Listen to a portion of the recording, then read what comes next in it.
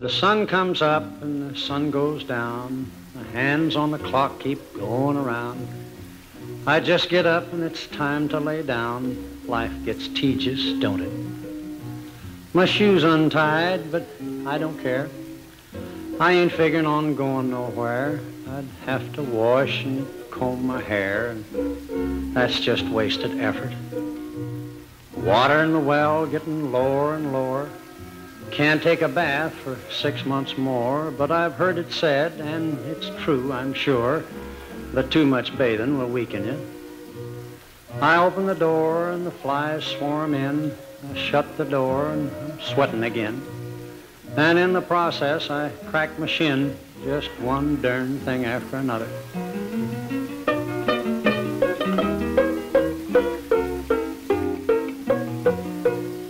Old brown mule, must be sick. I jabbed him in the rump with a pin on a stick. He humped his back, but he wouldn't kick.